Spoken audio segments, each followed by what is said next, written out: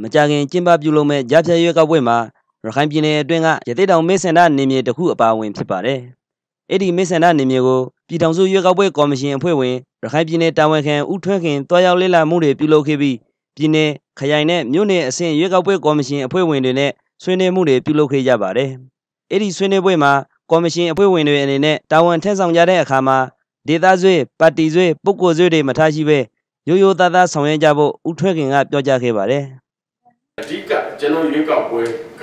ပို့ပြီးတော့စိတ်နှလုံးဖြူစင်ဖို့လိုပါတယ်ယူသားဖို့လိုပါတယ်ဘာဖြစ်လို့လဲဆိုတော့ကျွန်တော်တို့ထိန်ကြောင်းလာတာကလွတ်တော်ကိုယ်စားလှယ်အသီးသီးကိုရောပါတီအသီးသီးကိုရောထိန်ကြောင်းလာတာဖြစ်ပါတယ်အဲ့တော့အဲ့လိုထိန်ကြောင်းလာတဲ့လူကဒီရွေးကောက်ပွဲလုပ်ငန်းစဉ်နဲ့ပါတီတွေပုံမှာထားတဲ့သဘောထားတွေ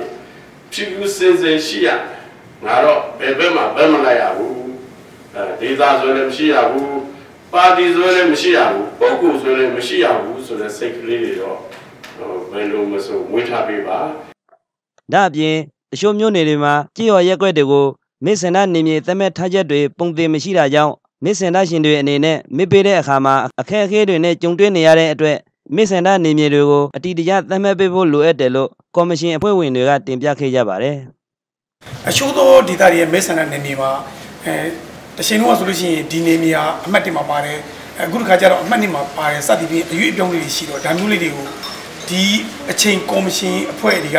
ပြန်လည်ပြီးတော့စစ်စစ်အတည်ပြုပေးဖို့လို့မဲဆန္ဒနယ်တချို့ကလည်းပြောသလိုတချို့သောပါတီဝင်တွေကလည်းပြောလာတာရှိပါတယ်ခင်ဗျဒါတော့ကျွန်တော်တို့ရဲ့ပြည်နယ်ကော်မတီအဖွဲ့တွေမှာမှနောက်အတီးတီးပြန်လည်ဆွေးနွေးတင်ပြမယ်အစီအစဉ်ပါခင်ဗျလို့လို့ဆိုတော့ကျွန်တော်တို့ရဲ့ပြည်နယ်တာဝန်ခံကြီးကိုအကျိုးတင်ပြထားတာဖြစ်ပါတယ် ကြားဖြတ်ရွေးကောက်ပွဲကျင်းပမဲ့ရခိုင်ပြည်နယ်မြောက်ပိုင်းကရသေးတောင်မြို့နယ်ဟာအကြမ်းဖက်မှုတွေဖြစ်ပေါ်ခဲ့တဲ့ဒေသတွေထဲမှာပါဝင်နေတဲ့အတွက်စိုးရင်ရတဲ့အခြေအနေရှိနေတာကြောင့်ရွေးကောက်ပွဲကာလအတွင်းလုံခြုံရေးတွေကိုတိုးမြှင့်ရှာထားဖို့ကော်မရှင်အဖွဲ့ဝင်တွေကအကြံပြုတင်ပြခဲ့ကြပါတယ်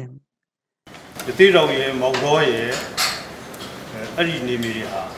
ကျွန်တော်တို့ရဲ့ဒီပဋိပက္ခဖြစ်ပေါ်ခဲ့မှုတဲ့နေမြေတွေဖြစ်တဲ့အတွက်အဲ့ဒီလုံခြုံရေးပိုင်းဟိုအဓိက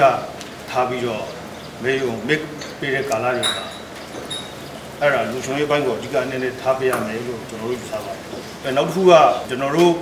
ပြည်နယ်အဆင့်မှာလည်းပဲဝန်ထမ်းအင်အားကတော်တော်လေးနေပါတဲ့အနေအထားကိုကျွန်တော်တို့တွေ့နေရပါတယ်။အဲဝန်ထမ်းအင်အားလည်းဖြစ်တင်ပေးဖို့တင်ပြရှင်ပါတယ်။ပြည်내ခရိုင်မြို့နယ်ကော်မရှင်အဖွဲ့တွေအနေနဲ့ကော်မရှင်ရဲ့လုပ်ငန်းစဉ်တွေကိုဆောင်ရွက်ကြတဲ့အခါမှာလိုအပ်တဲ့ဥပဒေနည်းဥပဒေတွေကိုလည်းရှင်းကဲထားကြဖို့နဲ့ ရွေးကောက်ပွဲဥပဒေတွေကိုလေ့လာထားကြဖို့တိုက်တွန်းပြောကြားခဲ့တာဖြစ်ပါတယ်ခင်ဗျာ။